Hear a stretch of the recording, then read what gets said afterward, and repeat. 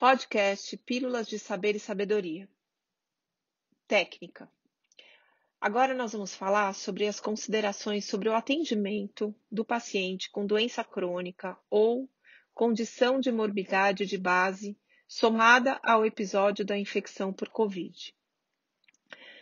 Tenha em mente a necessidade de estar atento a dois ou mais sinais de alerta para doença avançada e progressiva, que podem estar presentes durante a sua avaliação do paciente com suspeita de Covid.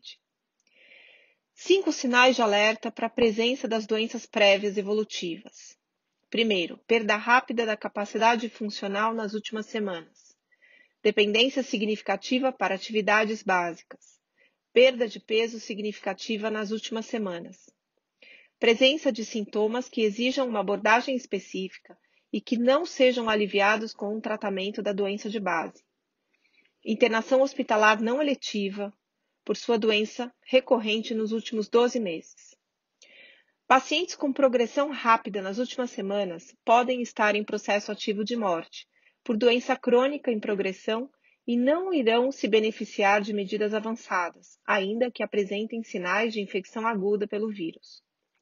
Neste caso, é importante a nossa franqueza com o doente e com o familiar, entendendo que a sinceridade e a honestidade não são sinônimos de frieza ou distanciamento. O sofrimento expressado pelos familiares diante de, uma de, dessa notícia difícil deve e precisa ser acolhida compassivamente. É muito importante que você demonstre sensibilidade ao explicar o contexto de gravidade e relembrando que há uma condição clínica extremamente séria em curso e que você fará todo o possível para que o seu tratamento seja o mais adequado possível e que vai levar em consideração o cuidado para que não tenha sintomas estressantes de sofrimento. Nesse momento, priorize medidas de controle dos sintomas e fique muito atento a possibilidade de entrada no processo ativo de morte. A morte iminente exige cuidados de fim de vida, independente da causa. Muitas vezes, a experiência de dignidade possível neste momento será apenas o olhar e as palavras sensíveis e compassivas de um profissional de saúde.